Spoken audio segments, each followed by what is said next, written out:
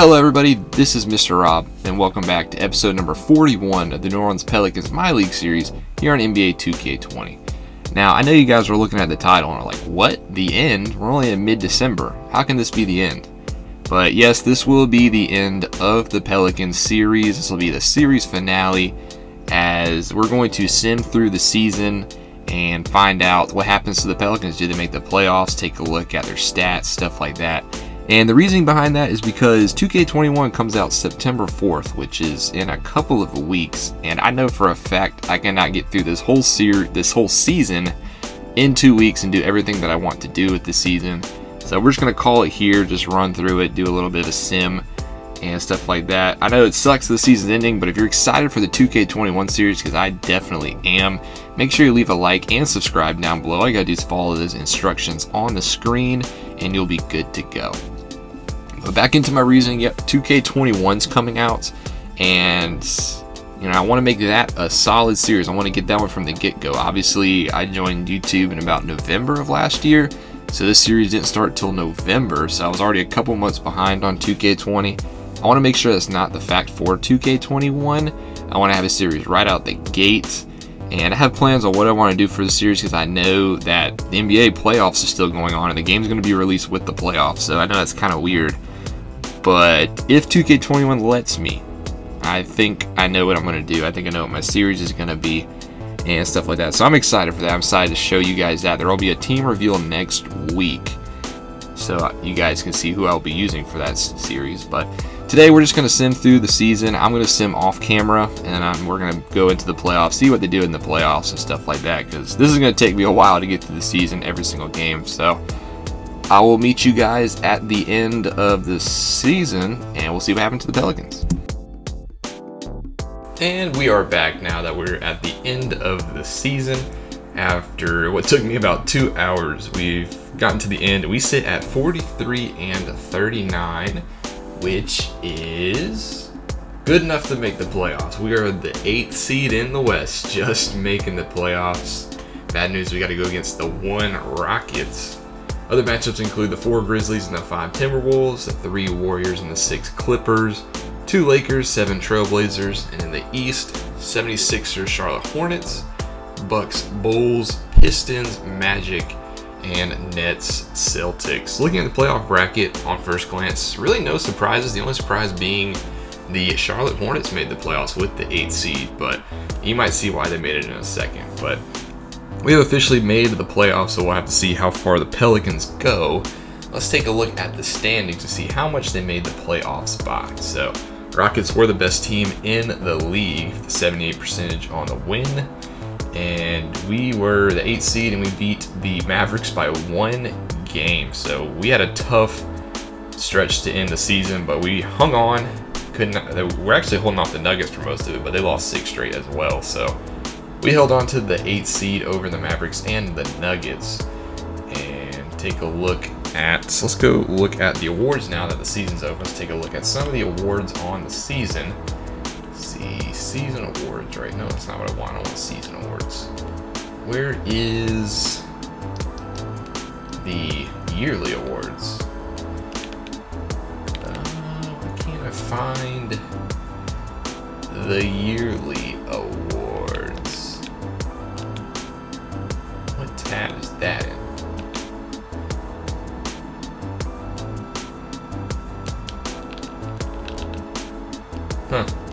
I don't know why I can't find it, but let's not waste any more time. We'll just go straight into... Well, I'll just talk about who won. So, MVP was Anthony Davis. He made MVP on the season. And then Rookie of the Year did go to Cole Anthony. He did win Rookie of the Year. He passed James Wiseman late, who did get hurt, unfortunately. That's why he didn't win MV or Rookie of the Year, but we'll take it. And then Sixth Man of the Year was Dennis Schroeder of the Thunder. And that's basically all the awards we got. First team was the Harden and Westbrook, followed by Davis, LeBron James, and Giannis Antetokounmpo. So that's all I have for yearly awards. Take a look at stats now. See if take a look at how our team did. So let's go to season stats. Go to let's go to league leaders first. We'll start with league leaders. So Anthony Davis did lead the way, 33 points per game. That's why he won MVP award. 11 or 17 rebounds, just an absolute unit. The former Pelican just continues to destroy the league. Followed by James Harden with 32. LeBron had 32 basically. Damian Lillard had 31. Kyrie 30 and a half. Jokic, who was leading most of the season for MVP, got hurt as well. He had 30 points. That's all of the 30 point guys. Rebounds per game was Davis and Gobert with 17 apiece, followed by Jokic. Assists, Chris Paul's the only one who averaged double-digit assists of the Grizzlies, so that trade they made in the draft actually paid off as they made the playoffs with a four seed. Steals per game, Leonard, Paul, and Anthony Edwards, the rookie out of Georgia, 2.6 and blocks Anthony Davis with 3.4. He also won Defensive Player of the Year. So Anthony Davis was an absolute unit. But let's go into our stats. Let's see how our players did. Starting off with Zion at the top, 21.9 points per game, 9.9 rebounds, basically a double-double. Nobody on our team made the All-Star game. That was also kind of whack. Zion did not make the All-Star team, but we're going to digress there. Let's take a look at his stats compared to last year. So he improved points per game wise and rebounds per games wise. Shooting percentage went down, but I mean, when you're shooting 57% your first year, it's gonna go down. Zion, absolute tank of a player. Then Cole Anthony, 19.1 points per game, the rookie of the year. I mean, we are so, we got so lucky to have Cole Anthony on the team. We weren't even supposed to be a top four pick. Got lucky with the lottery, landed Cole Anthony. I don't even know where we'd be if Cole Anthony wasn't on the team. I don't even think we would have made playoffs. Our point guard position would have looked entirely different if we didn't land Cole Anthony. So obviously it was a lot of fun to have Cole Anthony. He shot 49%, 42 and a half from three. I mean, he is going to be a dominant player for this team for years. And I was so, so, we were so lucky we have Cole Anthony on this team. Next up, Jrue Holiday, 15 points per game. Obviously went down, but he did hit 30, so that's reasonable, but he did shoot 50%. His shooting numbers were up. He just didn't have to carry as much of a load with Cole Anthony and Zion having a full season. Still a great player. He is a free agent. He has a player option after this year. I think he would have declined, but Jrue Holiday, I'm glad we held on to him for both years. I'm glad he was a very solid player to just have, a core solid guy you know you can rely on at the beginning of the series. And I love playing with Jrue Holiday. He was so awesome on the defensive glass as well, or defensive side of the ball. Next up, Brandon Ingram, 13.9 points per game. Signed the big extension this past off season. You look at his contract again, basically averaging 22, 24 million a year. And for those kind of numbers, a little depressing that he only averaged 13.9 points per game. He did shoot the rock really well. He shot it way better than he did last year, but I would have liked to see him been more aggressive. He just didn't really take as much shots per game as somebody like a Porter Jr. or something, or you know whoever our center was. I would like to see Ingram get more involved in the offense. He also improved as a defensive player. He averaged 4.8 rebounds per game. Uh, yeah, 0.2 more steals, so I was happy with Brandon Ingram. I just wish he would have done a little bit more.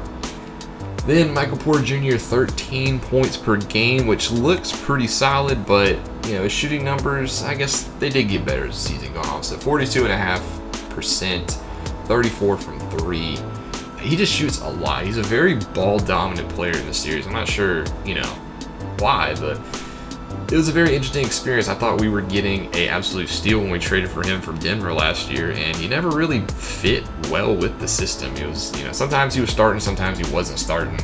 Just didn't really know what to do with Porter Jr. And you know, he kind of played backup for most of the year. So glad to see his numbers did get better as the season going on, because he was just downright terrible in the middle part. But Porter Jr., interesting story. Then Vernon Carey Jr., the rookie out of Duke, 11.7 points per game. We did a draft day trade. He was originally drafted by the Hawks, but we got a we traded for him and great pick. Um, 11.7 points per game. He was an absolute animal. I mean, number 11 pick. I didn't really expect that. He basically took over the starting center spot. I mean, you can't deny these numbers. 57 field goal percentage. I don't know if he attempted a three. Let's see if he actually attempted a three. Does it show you right here? He attempted one three all season, did not make it. I'm pretty sure I attempted that three, but so Vernon Carey Jr., absolute great player. He's you know the five of the future. So in the draft, we got both our one of the future in Cole Anthony and our five of the future in Vernon Carey Jr. The two spots I think we desperately needed, we got in one draft. So I think we got set up very nicely for the future. Then JJ Redick, 10.7 points per game. Obviously, the old vet, 36 years old. His numbers did go down 37% from three. And he had a lot of days off. He needed a lot of days where he was just tired. I had to, you know, sit him out for a day. How many games did he end up playing? He ended up playing 66 games, so three less than last year. Did not get hurt, so it just had to be very careful with JJ Redick. So he's healthy for this playoff run. We'll see if he can light it up from three pointers. So one of the few veterans on this team. So we didn't end up trading. We actually made no trades throughout the season. I thought about it, but we did not trade him. Jeff Teague, the guy we signed to be the backup point guard this year, 8.1 points per game. His numbers were solid, and he just didn't get as much minutes as he did in Minnesota. Very good mentor. He's been basically mentoring Cole Anthony. He's got very solid badges, which is the reason why I signed him. He has gold playmaking badges, diamond, needle, threader, and he's got, you know. So that's why I signed him to be a mentor for Cole Anthony. So if Cole Anthony can get these badges, he'll be an even more well-rounded point guard. So that's why we signed Jeff Teague, and I was very happy with that his play this year. Then Mitchell Robinson, six points per game, 8.6 boards. He's a glass cleaning lockdown. We traded Lonzo to the Knicks for Mitchell Robinson in the offseason. I didn't really ask him to do a lot on the offensive glass because he had so many, you know, role players around him, but or not offensive glass and the offensive, you know, shooting. As long as he cleaned the glass, that would have been okay, and he basically did that, so I really have nothing negative to say about Mitchell Robinson. He just lost his starting spot because Vernon Carey played so well, but he's a solid player on the team. And then Jaxson Hayes, here we go, start getting to more just like role players. 3.9 points per game. I don't know why he sucks so bad at shooting. 26%. He's like 7 feet tall. He's like taller than the basket, but he sucks at shooting. He's been kind of a bust, not going to lie, since being the 8th pick last year out of Texas. So I'm sorry, that's all I really got to say about Jaxson Hayes. Josh Hart also just got bit minutes when somebody like a Redick or a Holiday needed a day off every once in a while. He shot better, just really nowhere on the team for him. I think he is a free agent this year, so he probably won't be back with the team next year. Didn't end up trading him. Maybe should have traded him. Maybe get some, you know, capital for him. But he stayed on the team. Same with Nickeil Alexander Walker, 3.4 points per game, a little younger than Hart. Also has team control, so he'll be on the team. And then Jahmi'us Ramsey, second round pick who lit it up in the summer league out of Texas Tech. 3.3 for him, two points for Aaron Henry, a second round pick from Michigan State. And then Reggie Perry, I think, played in one game for us out of Mississippi State. How many games did he play? He played. He played 10 games. He just didn't score a basket. So interesting. He took two shots all 10 minutes, didn't make a single one. So Reggie Perry, just another role player. And then we had Azubuike in the summer or in the G League, undrafted out of Kansas. So that's our stats. Let's see who led in rebounds real quick. Zion Williamson with 9.9. Assists was Cole Anthony. Steals per game, Cole Anthony. Blocks per game, Vernon Carey. So that was our team stats. So let's go ahead and look at our, our player stats. Let's go ahead and look at our team stats now. So points per game wise, Rockets were the best team in the league. In points per game, we were 14th, so a lot better than last year. Last year we were in the bottom half of the league, maybe even bottom five. So we got a lot better scoring the Rock. Points allowed, best team in that category was the 76ers. This is a high average league. We were ninth, so solid overall. Still a solid defensive team. Field goal percentage wise, we were eighth. Three points, we were a little bit lower, 17th. And then free throw, we're not a very good free throw shooting team. 29th, so just need to work on our free throws, it looks like. So that's all with the season recap. Let's go ahead and look see what the Pelicans do in the postseason. So I'm just going to simulate a game by game, see what happens, and then we'll get, I'll basically simulate by round whenever we get eliminated. And then when we make the finals, I will just simulate the game by game. So let's simulate the first game. I think I got to, I got to jump in to play game, and then I got back out every single time. So first game is a win for the Rockets. Take a look at the box score 127, 123. Could not come back. James Harden, 34 points. We were led by Porter Jr., 32 points. So hanging on was the Pelicans, or was the Rockets, excuse me. Go into game two now, and Houston wins game two as well. So we fall 2 0 down in the series, 109 to 105. Eric Gordon actually led the way for the Rockets in this one. Followed by Harden's 19 double-double from Westbrook as well. While the Pelicans, Brandon Ingram led away for us 20 points on 8 of 17 shooting. Cole Anthony only had 14 and Zion only had 10. Going into game three, though, in New Orleans, we win this one 137 to 129, so trying to battle back. Zion had 30 points, 13 rebounds. Porter Jr. had 26 of his own, while the Rockets led this time by James Harden's 26. Eric Gordon put up 20 once more. So that takes us to game four as we simulate, and we actually win game four as well. So so far, the home team winning the series. It's two to two now as we go back to Houston. Porter Jr. 23 for us on 9 of 16 shooting. Zion had 21 points and 14 rebounds. While for the Rockets, it was. Da, da, da, James Harden, 41 points, 9 rebounds, 9 assists, one away from a triple double in each of those categories. But we go back to Houston, and in game number 5, the Pelicans win game number 5. So upset alert potentially as we take a look, Rockets 34 points on 10 rebounds for Westbrook. And we actually won this one in overtime, 123-119, pick up a steal in Houston. Can we take this momentum back to New Orleans? That would be great. As we were led by Zion's 26 points in 40 minutes, just not the best efficiency shooting, but led the way for us. Ingram had 21 points of his own.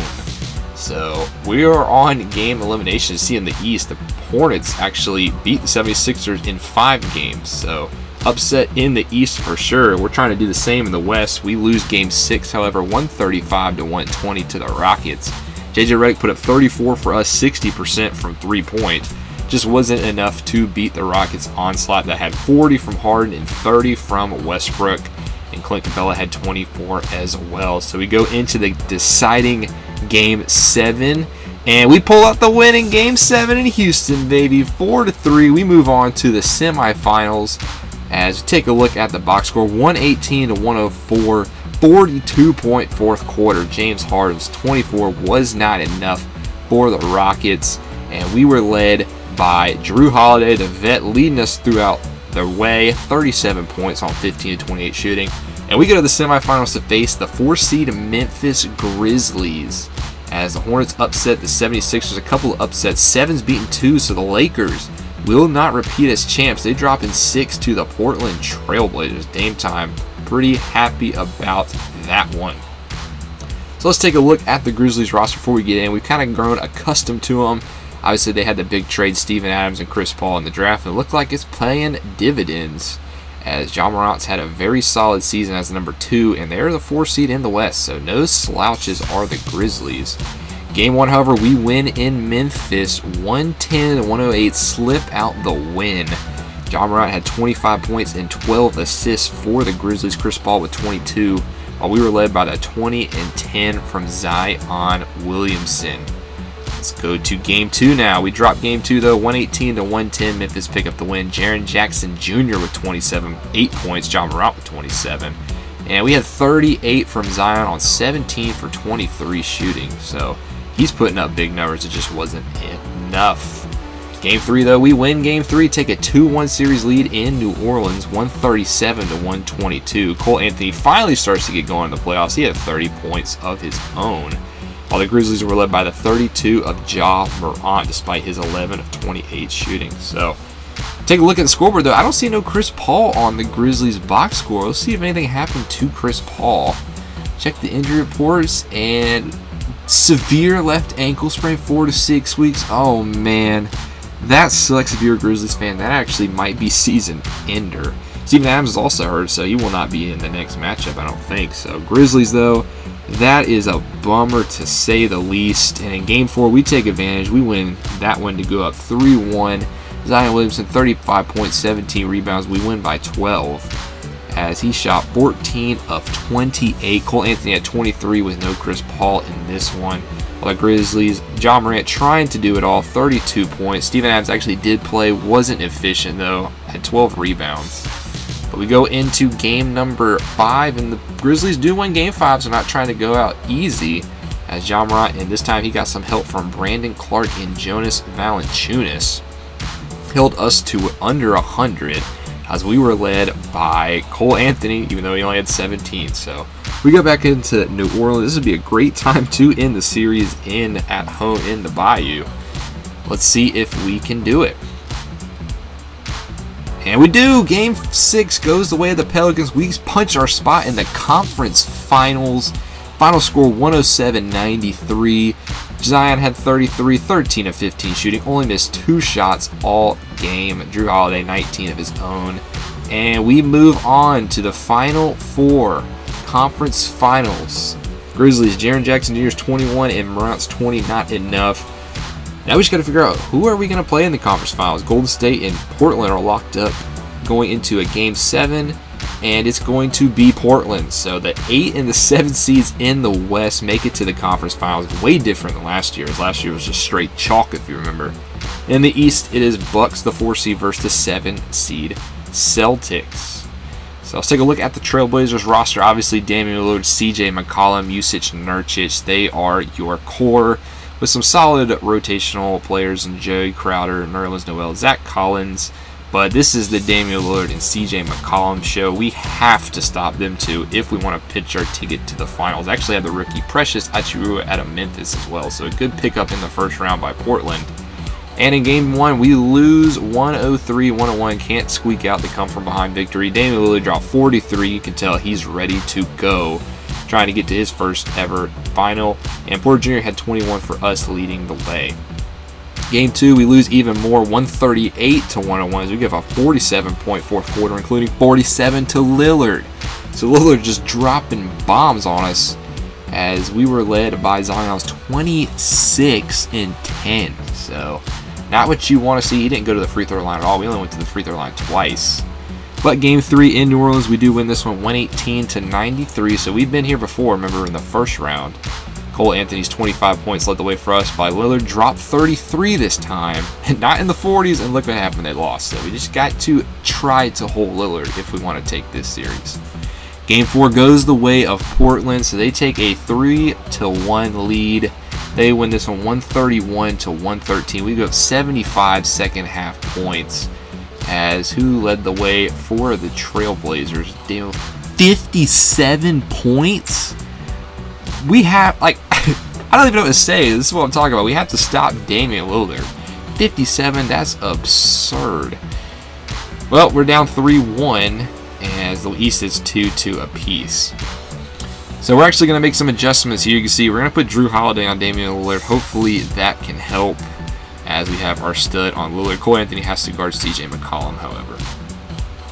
Oh, the New Orleans Pelicans have been eliminated. We dropped game five. So the Portland Trailblazers end our Cinderella run in the playoffs. They take game five, take the series 4-1. Trailblazers, they go to the play finals for the first time since 1992 when Clyde Drexler took them and they lost to Chicago and Michael Jordan. Let's take a look at the box score. 128 to 110 Portland Trailblazers in this one.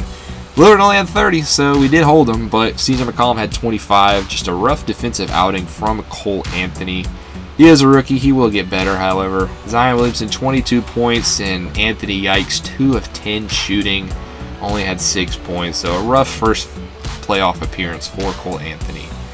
As now we got to see who do the Portland Trailblazers face in the finals. The Celtics are up 3 to 2 on Milwaukee, and that game is in Boston. So can they close it out and meet the Portland Trailblazers in the finals? Yes, they do. 4 to 2 win for the Celtics. So the two 7 seeds meeting up in the NBA finals. Portland Trailblazers, Boston Celtics. As let's take a look at the Celtics roster.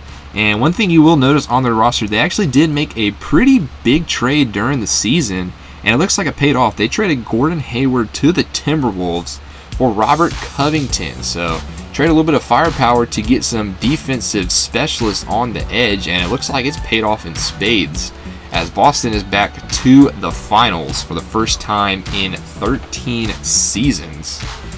And let's take a look see who wins. Game one, Portland Trailblazers win this one 127 to 119. So the first game was in Portland. And CJ McCollum led the way for the Trailblazers. Kemba Walker had 25 for the Celtics. So let's go sim game two now. It's tied one to one as Boston wins game two, 133-123. Lillard had 33 once more. Nurkic had 26, but the Celtics were able to prevail thanks to the offense of Jayson Tatum at 32. Kemba had 31 as well, so a quick 1-2 punch in Boston tying it up. And then in game three, we go to Boston and they win 135 to 124. Kemba 24 points, 5 rebounds, 6 assists. And it's now a 2-1 series lead and Game four is in Boston. Lillard, 39 points. He just needs some help, guys. So let's see what happens in game number 5. And the Celtics win this one 117-112. So it's elimination time for the Trailblazers. Kemba Walker, 26.7 assists. Shot way more efficient, too. Lillard, 26 points. Tried to get the team involved with 10 assists just wasn't enough. So now on the verge of elimination is the Trailblazers. Game five, here we go, and the Boston Celtics win it in five. They are your NBA champions. Titletown gets another championship, and the Celtics win their first title since 2008 when the Big Three led them there. Kemba Walker is your finals MVP. As a Hornets fan, I just love seeing that. Good for Kemba. That's what the Hornets get for letting him go. 25 points per game and he gets it done for the Celtics. They look like they have something to build around. And that's going to do it. So here's your playoff bracket. Here's the box score, actually. 119 to 104. Lillard had 29 points, 4 rebounds, 5 assists. But the Celtics, Jayson Tatum actually led the way with 20 points. Walker had 19. And the Celtics get it done, so that's way off what my prediction was. I had Rockets over 76ers, and they were the one seed, so I just missed out on that part. But that's going to do it for this series, guys. I hope you guys enjoyed the series. I actually loved this series. This is my first, like I said earlier, my first flagship series on the channel. And I had a great time doing NBA 2K20.